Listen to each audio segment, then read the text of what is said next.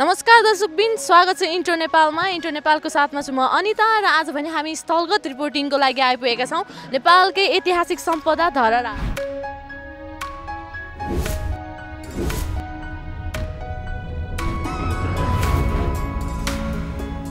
धरहराको निर्माण कार्य कस्तो हुँदैछ?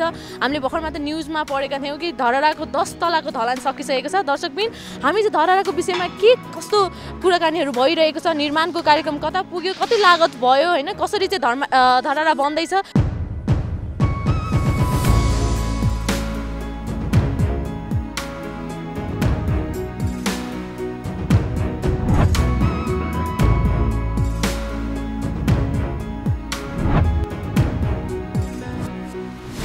पक्कै पनि दर्शकबिन तपाईँहरूले मेरो साइडमा देख्न सक्नुहुन्छ हाम्रो दुई हजार बहत्तर साल वैशाखको बाह्र गते भूकम्पमा भत्किएको त्यो धरहरा जुन चाहिँ अहिले पनि यसरी सेफली राखिएको छ र यो धरहरा चाहिँ अझ प्रोटेक्सन गर्ने र एउटा सिसाभित्र राखिने भन्ने कुरा भएको छ। दर्शकबिन आज चाहिँ हामी तपाईँहरूलाई यो धरहराको दस तलामाथि चढेर चाहिँ के कस्तो कार्यक्रम हुँदैछ भित्र कसरी काम भइरहेको छ र भित्रको योजनाहरू के के छन् अझै के के बन्न बाँकी छ र कसरी चाहिँ काम हुँदैछ भन्ने विषयमा पक्कै पनि तपाईँहरूलाई देखाउनेछौँ। अहिले चाहिँ हामी धरहरामाथि चढ्दैछौँ पक्कै पनि हामी ह्याट पनि लगाइसकेका छौँ र पक्कै पनि दर्शकबिन तपाईँहरू पनि हामीसँग चढ्न जाउँ है त। यहाँ देख्न सक्छौँ अलिकति चाहिँ गाह्रो पनि छ भित्र छिर्नलाई होइन? हामीलाई चाहिँ अलिकति धेरै गाह्रो पनि हुन्छ किनकि हामी छिरेका छैनौँ र फर्स्ट टाइम हामी छिर्न गइरहेका छौँ। अलिकति बिस्तारै म सँगसँगै तपाईँहरू पनि मलाई चाहिँ साथ दिँदै आउनु होला भित्र जाँदैछौँ हामी बिस्तारै जाँदैछौँ।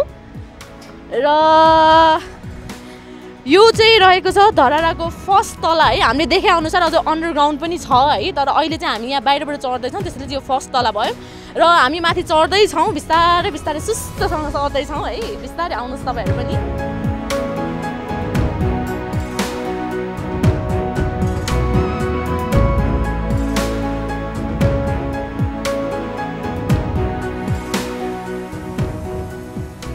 ओके हामी फर्स्ट तला चढिसकेका छौँ। यस अझै पनि हामी माथि चढ्नेछौँ तर मलाई हाइट एकदम डर लाग्छ है। त्यही भएर बिस्तारै बिस्तारै चढ्दैछौँ दर्शक पनि तपाईँहरू पनि आउनु होला है। बिस्तारै अब यहाँनिर हामी देख्न सक्छौँ। जति जति हाइट बढ्दै गयो त्यति त्यति नै धरहराको भनौँ न अझ इम्पोर्टेन्स देखिन थालिन्छ। सबै काठमाडौँको रमणीय दृश्यहरू चाहिँ हामी देख्न सक्छौँ। दर्शक पनि यहाँ अझ माथि गएर चाहिँ राम्रो देखिनेछ अझै पनि हामी चढ्दैछौँ बिस्तारै माथि। यतिखेर चाहिँ हामी दुई तलामा आइपुगेका छौँ। दर्शकबिन यतिखेर चाहिँ हामी धरहराको दोस्रो तलामा आइपुगेका छौँ र हामी देख्न सक्छौँ माथि चढ्न चाहिँ अझ गाह्रो पनि छ होइन? डरलाग्दो पनि छ पुरै सकिएको छैन नि त काम त्यही भएर चाहिँ। र अलिक गाह्रो भएको कारणले चाहिँ होइन हामी चाहिँ चढ्दै गर्छौँ तपाईँहरू चाहिँ हामीलाई फलो गर्दै गर्नु होला र यो भिडियो चाहिँ अन्तिमसँग हेरेर साथ दिँदै गर्नु होला पक्कै पनि हामी दस तलामा गएर फेरि भेट्नेछौँ।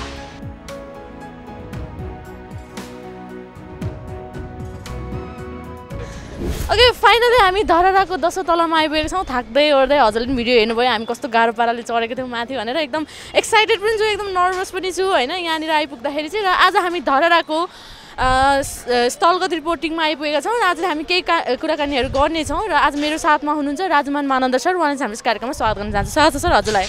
धन्यवाद। ओके भेटघाट भइरहन्छ धरहराको सिलसिलामा होइन त सर? कस्तो हुँदैछ काम?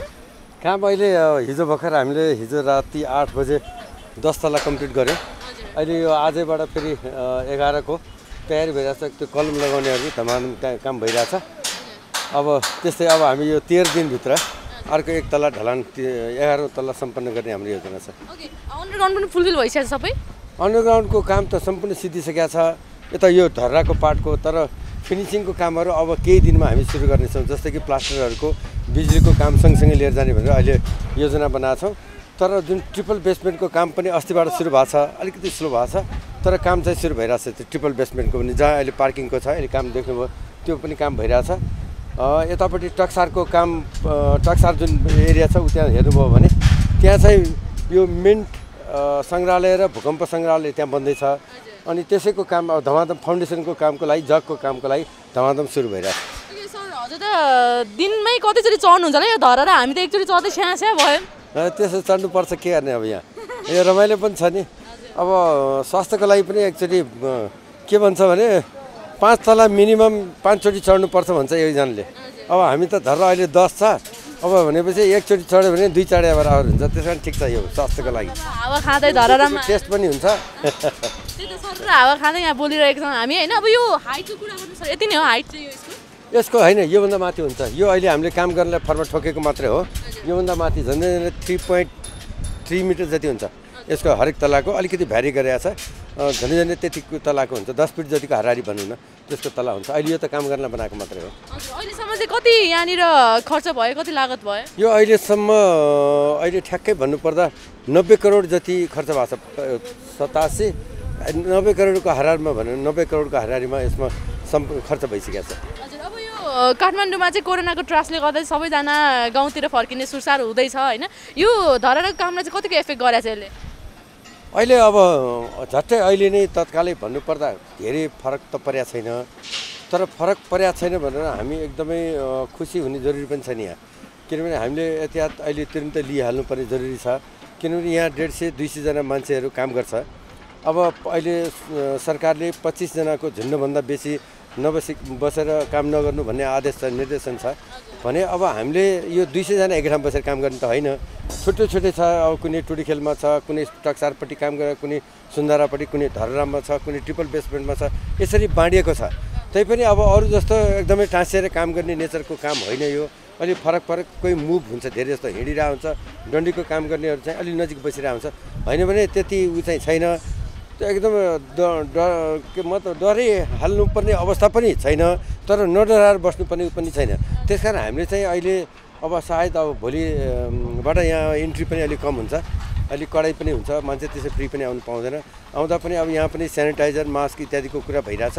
हामी त्यो पनि यसमा उपलब्ध गराउँदैछौँ। त्यो यो सबै कुराहरू अब नेपाल सरकारको निर्देशन बमोजिम जुन कोरोनाको लागि जे गर्नुपर्ने हो यहाँ साइडमा पनि हामी त्यही अनुरूप काम गर्दैछौँ।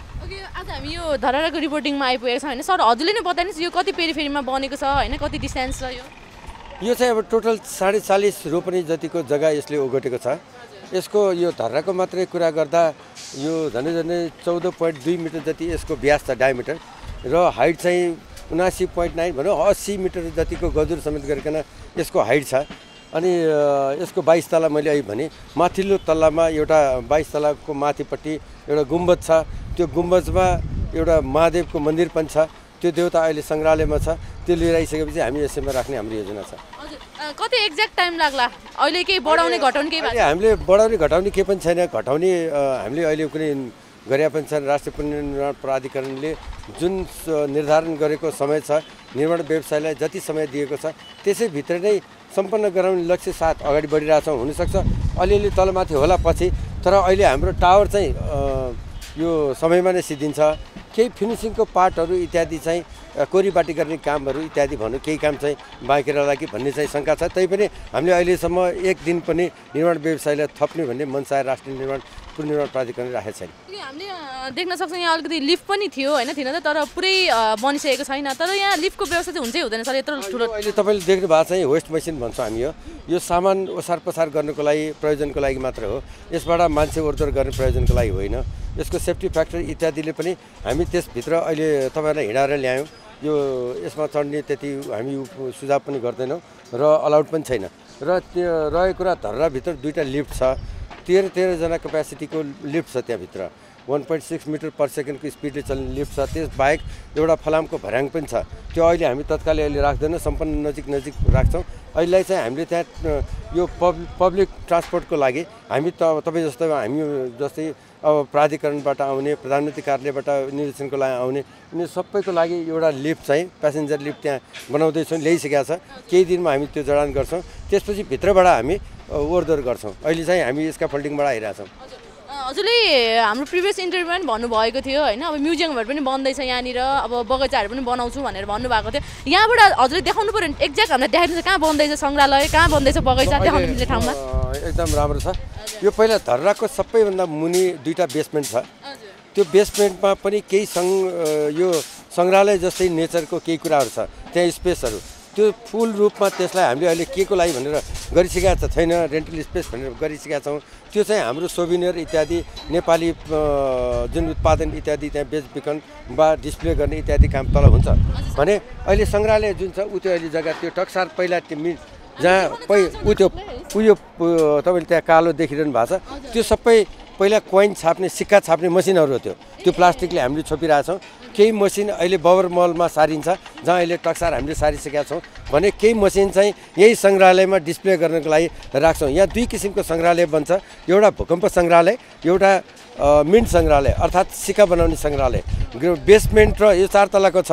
बेसमेन्ट र ग्राउन्ड फ्लोर चाहिँ मिन्टको लागि मिन्ट सङ्ग्रहालय जुन सिक- सिक्का बनाउने सङ्ग्रहालय हुन्छ भने फर्स्ट फ्लोर र सेकेन्ड फ्लोर चाहिँ भूकम्प सम्बन्धी सङ्ग्रहालय हुन्छ।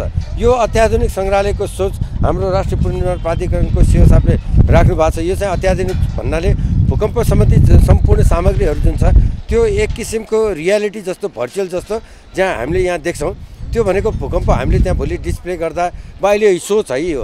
अब यो कोबेको भनौँ सङ्ग्रहालयसँग अहिले दाँजेर बनाउन लाग्छौँ यो चाहिँ अब भोलि कहाँसम्म बनाउन सक्छौँ त्यो अझै हेर्न बाँकी नै छ। तर अहिलेको सोच चाहिँ यो एउटा कस्तो किसिमको भने हामीले भूकम्प सम्बन्धी केही कुरा सामग्री यसमा प्रा प्रसारण वा भिडियो इत्यादि भइरहँदा तपाईँले भूकम्प गएको पनि महसुस हुने तपाईँ आफै हल्लेको पनि महसुस हुने इत्यादि कुरादेखि लिएर कसरी सुरक्षित हुनेसम्मको सम्पूर्ण कुराहरू यसमा यो सङ्ग्रहालयमा देखिन्छ भोलि यसमा देखिन्छ।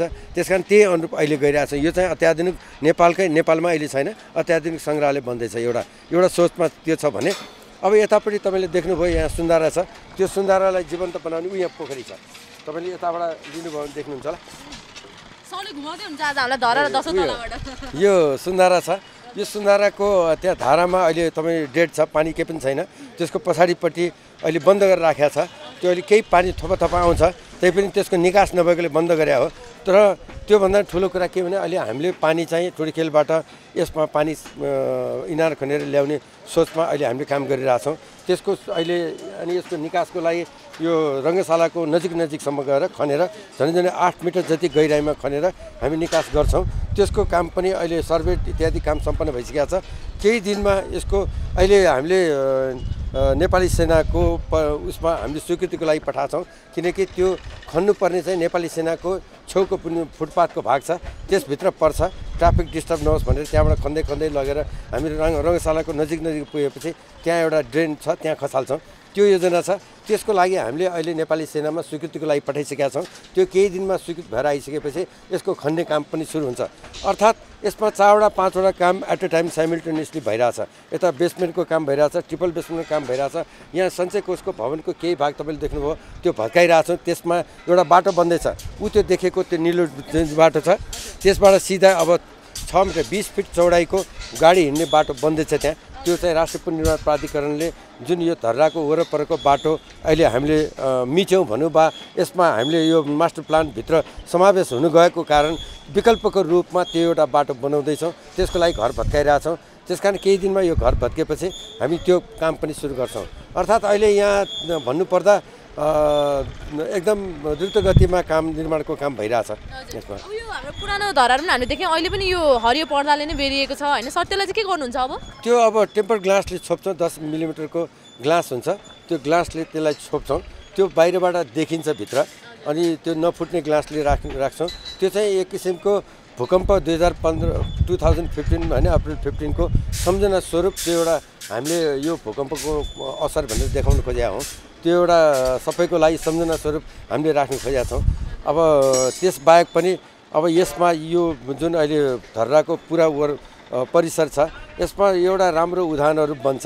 केही फुड कोर्टहरू छ र यहाँ आउने जुन पर्यटक भनौँ वा भिजिटरहरू जो आउनुहुन्छ त्यसलाई उहाँहरूलाई एउटा जहाँबाट आयो त्यहीँबाट निक्लिने मात्रै नभइकन मल्टिपल एक्जिट पोइन्टहरू यसमा छ ताकि निक्लिनु पर्दा वा कुनै किसिमको का केही भयो भने पनि छिटो बाहिर निक्लिने इत्यादि कुराहरू पनि यसमा समावेश छ भने यहाँको पहिलादेखि चलिआएको जुन सांस्कृतिक सांस्कृतिक जुन इभेन्टहरू हुने छ जस्तै कि उपाकु भनौँ वा लाखे नाच इत्यादि जे छ त्यो पनि यथावतै रहन्छ यहाँ। यहाँ हामीले यो धर्रा बनाएर यहाँ कुनै पनि यो जुन सांस्कृतिक जुन गतिविधि हो त्यो कुस कुनै पनि कुराहरूलाई यो धर्रा बनेर असर पर्नेवाला चाहिँ छैन। यो जस्ता एज इट इजै रहिरहन्छ त्यो। हामी यहाँ चढिराख्दाखेरि चाहिँ होइन मैले यहाँ ग्याप देखेँ सर। यो ग्याप चाहिँ के को लागि हो? यो ग्याप बनाएको होइन भएको यो। कस्तो छ भने यो धर्रा धर्रा तलदेखि माथिसम्म बराबर छैन। यो ट्यापड भएर गएको छ। ढल्किँदै गएको छ। दुई दुई डिग्रीमा यो ढल्केको छ। यसरी ढल्किँदै ढल्किँदै ढल्किँदै जाँदा जति जति माथि गयो यो त्यति त्यति यो डिस्टेन्स खुला हुँदै आउँछ। त्यस कारण यो खाली हुन आएको यो अटोमेटिक खाली हुन आएको। अब के गर्नुहुन्छ त्यो ग्यापमा चाहिँ? यो त पछि हामी यो धर्रा कम्प्लिट भएपछि निकाल्छौँ तर यहाँ चाहिँ अहिले प्लास्टर गर्नुपर्ने रङरोगन गर्नुपर्ने इत्यादि धेरै काम छ यसको फिनिसिङ गर्नुपर्ने। यहाँ अहिले केही सिक्युरिटीको जालीहरू फेरि राख्दैछौँ यहाँ। अहिले मगा आइपुगेको छैन। त्यो राखिसकेपछि यहाँनिर तलसम्म देखिँदैन त्यो। त्यो चाहिँ सुरक्षाको लागि हामी त्यो काम गर्दैछौँ। र त्यो तर यो अहिले जहाँ अहिले उभिरहनु भएको छ यो स्क्याफोल्डिङबाट यो ग्यापमा फेरि अलिकति थपिन्छ। थपेर अनि काम गर्नलाई सजिलो वातावरण बनाउँछ यहाँ। अनि यहाँ हाम्रो केही वर्करहरू काम गरिरहनु भएको छ यो यसमा चाहिँ के हुन्छ सर? हाम्रो यो प्लास्टर गरेको ठाउँमा? यो यो एउटा नमुना हो जहाँ तपाईँले सोध्नुभयो यो दसौँ तल्लाको फ्लोर हो। यस्तै किसिमले एक तल्ला दुई तल्ला तिन तल्ला बाइस तल्लासम्म तपाईँले यो फ्लोर देख्नुहुन्छ। र हरेक तल्लामा एक एकवटा झ्याल जुन पुरानो धर्राको जस्तै एउटा ऊ रिपिट हुने जस्तै त्यसको आकृति वा भन्नु त्यसको वास्तुकला त्योसँग झझल्को आओस् भन्नुको निमित्त त्यो एउटा झ्याल पनि देखिन्छ। तर यो स्पेस चाहिँ हरेक तल्लामा देखिन्छ। यो स्पेस के को लागि बनाउने के गर्ने भन्ने कुरा अहिले निर्णय भइसकेका छैन। एउटा कार्यविधि बनाएर यसलाई कुन प्रयोजनको लाने भन्ने चाहिँ छ। तर यति चाहिँ अहिले बुझौँ हरेक तलामा हामी ओर्लन सक्छौँ उक्लन सक्छौँ। हजुर। अब अ, एउटा मनमा प्रश्न चाहिँ के उठ्यो भने अब यहाँनिर पनि देखिरहेको छ हामीले यो ग्याप पनि छ होइन? र पुरानो धरारा अनुसार चाहिँ हामी एउटा सर्कलमा घुम्न पाउँथ्यौँ होइन? त्यो एउटा बारमा बसेर हेर्न पाउँथ्यौँ। यो भित्र जान पाउँछ पाउँदैन हामी। बिस त तपाईँ हरेक एक तल्लादेखि लिएर बिस तल्लासम्म कुनै पनि तल्लामा ओर्लिन पनि सक्नुहुन्छ चढ्न पनि सक्नुहुन्छ अहिले भने। र यसको बिस तल्लामा गएर हामी एउटा डेक छ यसमा। त्यो डेकमा बसेर बाल्कुनी छ भनौँ जहाँबाट काठमाडौँको दृश्य अवलोकन गर्न सक्छौँ। यो चाहिँ त्यस्तै किसिमले अठारौँ तल्लामा एउटा हल छ जहाँ मुभीहरू इत्यादि अटोमेटिक स्वचालित टिभीहरू चल्न थाल्छ। तपाईँ भित्र छिर्ने बित्तिकै त्यसले सेन्स गर्छ र अटोमेटिक यसमा भूकम्प सम्बन्धी सामग्री इत्यादि कुराहरू त्यसमा डिस्प्ले हुन्छ। धन्यवाद अमूल्य समयको लागि र धराराको विषयमा मैले केही छुट्याएको छैन भनिदिनुहोस् न सर। अब धरहरा छुट्या त छैन। यो धरहरा अब हामी छिटै नै सम्पन्न गर्दैछौँ। सम्पन्न गरेपछि यहाँको एउटा यो एउटा नेपालकै एउटा पर्यटकीय गन्तव्य एउटा थपेको छौँ आयाम थपेका छौँ। यहाँ धेरै यसको होल यो एरियाकै नै एउटा मुहार चेन्ज हुने अवस्था छ। यसमा अन्य कुराहरू पनि यसको साथसाथै आउनेवाला छ। अहिले धर्रा मात्र होइन यो हाम्रो सञ्चय कोष भवन इत्यादिलाई पनि इन्टिग्रेट गर्ने वा योसँग संलग्न गर्ने इत्यादि यहाँको वरपरको जुन मुहार छ जुन हामीले वास्तुकला देख्छौँ त्यसमा पनि एउटा परिवर्तन आउनेवाला छ। त्यसकारण यो एउटा रमणीय स्थलको रूपमा विकास हुँदैछ भन्ने धेरै धेरै धन्यवाद हजुरको अमूल्य समयको लागि र हामी पनि पक्कै पनि चाँडै धराएर चढ्न पाऊँ है। धन्यवाद। अब तपाईँ दस तल्ला चढिसक्नुभयो अब बाह्र तल्ला चढ्न बाँकी छ हाम्रो अडियन्सहरूलाई पक्कै पनि थ्याङ्क यू सो मच धन्यवाद।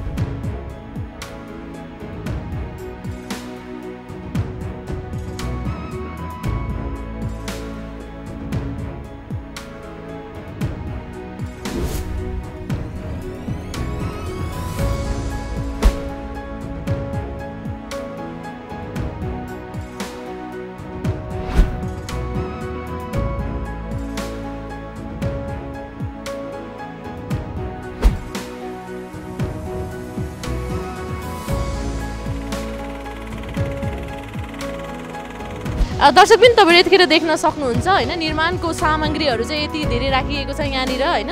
र म चाहिँ अहिले यहाँ धरारा तपाईँहरूलाई घुमाउन ल्याइरहेको छु र यहाँ धरारामा के कस्तो कामहरू भइरहेको छ निर्माणको कामहरू? पक्कै पनि निर्माणको सामग्रीहरू देख्न सक्नुहुन्छ तपाईँ र अगाडिको बिल्डिङहरू सबै भत्काइसकेको छ र भत्काउने काम भइरहेको छ डोजरको माध्यमबाट र काम चाहिँ धमाधम स्थितिमा भइरहेको छ र तपाईँहरूलाई अघि पनि मैले भनिसकेँ होइन? अन्डरग्राउन्ड पनि बन्दैछ यो धरारामा होइन? अन्डरग्राउन्ड चाहिँ देख्न सक्नुहुन्छ तपाईँ। अन्डरग्राउन्ड चाहिँ यसरी बन्दैछ धरारा हामी पक्कै पनि अर्को एपिसोडमा चाहिँ गएर जब यो अन्डरग्राउन्डमा जान मिल्ने अवस्था हुन्छ त्यो टाइममा चाहिँ हामी अन्डरग्राउन्डमा गएर पनि तपाईँहरूलाई त्यहाँनिर चाहिँ गएर हामी अन्डरग्राउन्डको बारेमा बताउनेछौँ। अहिले चाहिँ तपाईँहरूले हेर्नु होला यो अन्डरग्राउन्ड धराराको